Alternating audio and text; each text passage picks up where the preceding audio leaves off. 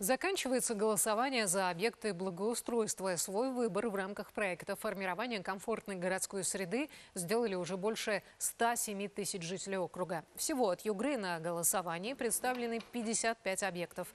Ознакомиться и проголосовать за них можно на сайте 86.горсреда.ру. Например, в Сургуте самый популярный объект – это сеть пешеходных дорожек в экопарке «За Саймой». Ханты-мансийцы в основном голосуют за благоустройство набережной Иртыша. Большинство лангепасцев поддержали обустройство городского пляжа.